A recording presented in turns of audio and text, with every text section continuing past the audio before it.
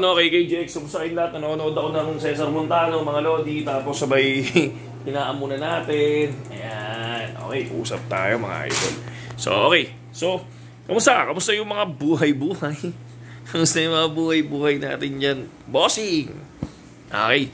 So, ah... Uh, Bitcoin, naglalaro, no? Naglalaro sa, kanina, nag-50, kaninang madaling araw, pumalo siya ng 59,300, okay? Tapos, ito yung sinasabi natin na possible may mga retest yan. Pero ang ganda na ng support ng 58.5 mga Lodi. No? So, kailan tayo mag kailan tayo mag-short? Mag-short tayo pag 58.5 na. 58.5 pababa, mga Lodi. Yan, dyan tayo mag-short.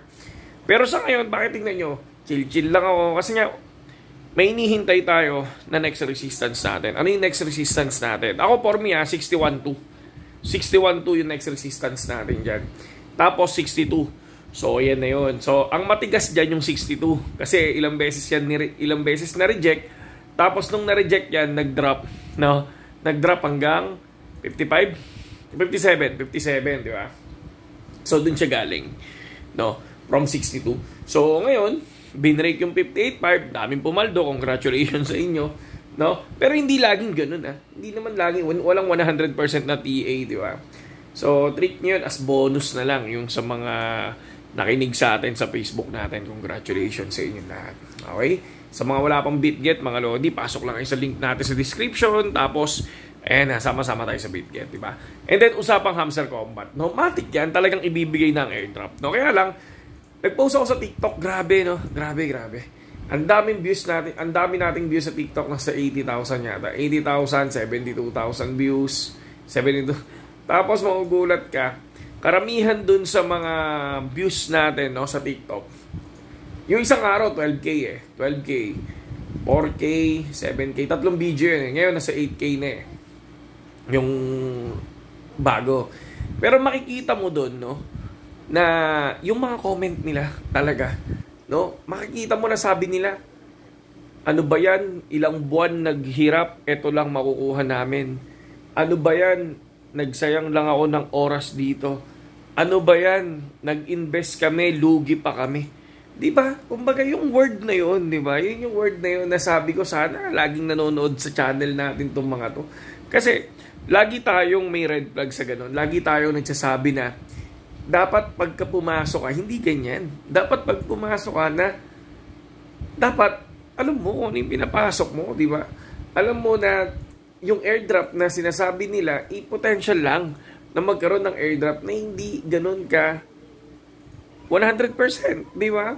Na saan talagang may may talo. Yung na kung saan na, na kung saan na talagang minsan wala kang makukuha, di ba? So ganun yan eh, ganun ang labanan eh, di ba? So ang dami tapos makikita mo hamster combat. Nagalit sila nung hindi, di ba? Nagalit nung hindi nagbigay ng July no, ng airdrop. Anong ginawa? 'Di ba? Naging basher. Ngayon, nung naging basher, bakit sila naging basher? Kasi nga pumasok sila ng dahil sa hype. Pumasok sila ng maraming nag-hype, nakikita ka. Naniwala sila doon. Ngayon, ganito yung nangyari dyan. Nung pagdating ng July, hindi binigay. Nung hindi binigay yung airdrop, yung iba huminto. Maraming huminto sa hamster combat. Kasi nga hindi na naniniwala. Kasi nga mas nauna daw yung date ng second airdrop kaysa sa first airdrop. 'Di ba? Kung saan tumahimik ang hamster. Na saan ang dami naging issue ni hamster. Na saan nag-away-away pa sila, nagkaroon pa ng issue na nag-away-away sila sa loob. Na saan na hindi mo na pinag-uusapan ng airdrop. 'Di ba? Nakita niyo yung mga issue ganun, ba? And then umalis yung iba naging basher yung iba. Kaya makikita mo, puro daming basher ngayon sa hamster combat. Nakakatawa eh, di ba? Nakakatawa lang eh. Di ba? Then, eto na. Nagkaroon na ng schedule ngayon yung sept, ano, no? Yung airdrop, nagkaroon na. Eto na, eto na. No? Ang nangyari naman ngayon, basher pa rin sila. Alam mo kung bakit? Kasi nanginayang sila na may airdrop na pala, huminto pa sila. ngayon, ang sinasabi natin doon, syempre, matik magkakaroon pa rin naman sila siguro ng airdrop. Pero iba pa rin yung nagpatuloy, di ba? Siguro mas malaki yung allocation. Dahil sabi nga nila, 100 billion daw yung circulation na token. So, 60% nun, nasa 60 billion yung ipamimigay. Tapos, ilang milyon yung naglalaro. Hindi ko alam kung ilang milyon, correct me if I'm wrong ha, na kung 30 million, di ba? 30 million, paghahatian yung 60 billion token, di ba?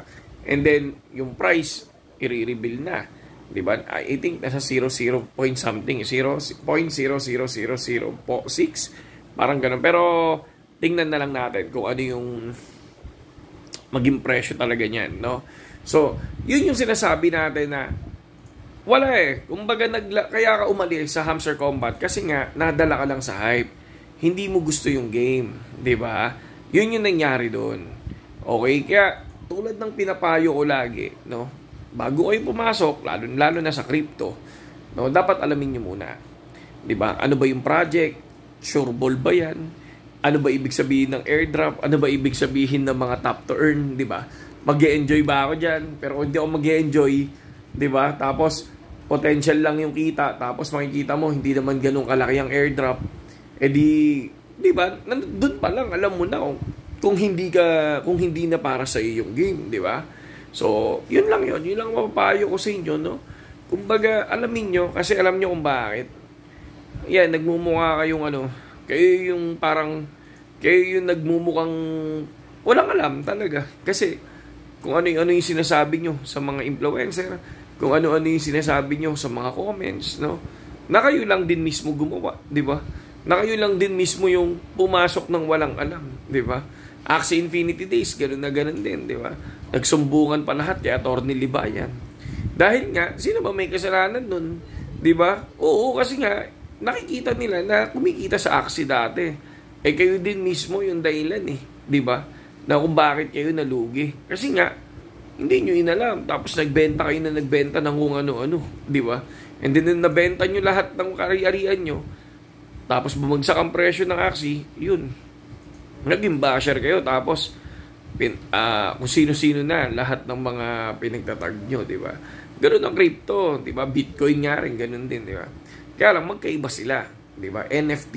Kumbaga, hindi pa na perfect talaga ang